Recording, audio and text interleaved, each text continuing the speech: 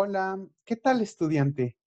¿Quieres aprender a expresar involuntariedad e intencionalidad en español? Bien, acompáñame.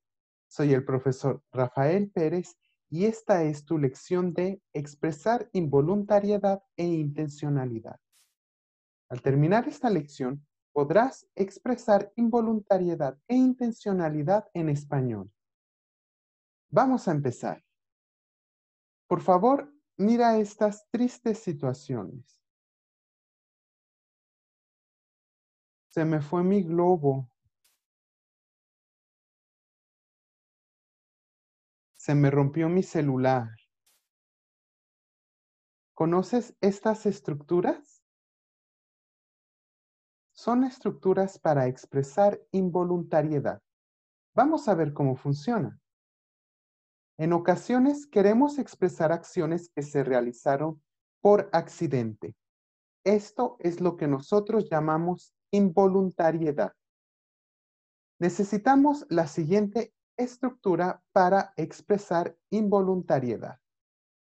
Necesitamos el se impersonal y un pronombre de objeto indirecto, como me, he, le, nos, les, Después necesitamos un verbo en pretérito como rompió, cayó y después un sustantivo, en este caso el celular. Se me rompió el celular o se me cayó el celular. En esta estructura, el sujeto gramatical toma el lugar del objeto, es decir, el celular es nuestro sujeto gramatical. La forma del verbo va a cambiar dependiendo el número del sustantivo. En este caso es singular. Ahora, la mayoría de las acciones que realizamos lo hacemos de manera intencional, como en los siguientes ejemplos. Juanito soltó su globo y tiré mi celular al suelo. En ambas situaciones expresamos que la acción se realizó intencionalmente. Si queremos expresar lo contrario, entonces utilizamos la estructura que vimos anteriormente, es decir, la estructura de involuntariedad. Si aplicamos esta estructura a los ejemplos anteriores, tenemos a Juanito se le soltó su globo y se me tiró mi celular al suelo o se me cayó mi celular al suelo. Bien, ahora es tu turno de practicar. Por favor, convierte las siguientes frases a su opuesto. Si es una frase intencional, conviértela en una involuntaria y viceversa. 1. Se me cayó mi cartera ayer. Transforma la frase.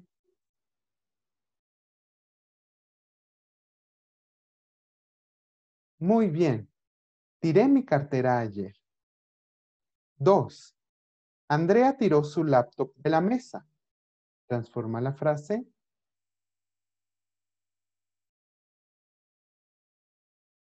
Muy bien.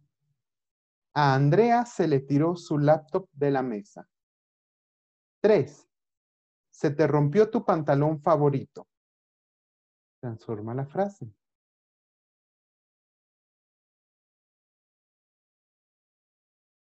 Sí, rompiste tu pantalón favorito. Cuatro, ensuciaron su traje para la fiesta. Transforma la frase.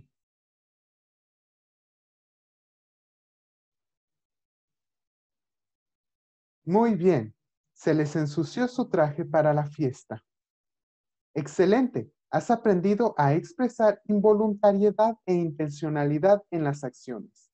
¿Has pensado en todo el nuevo vocabulario que aprendiste hoy?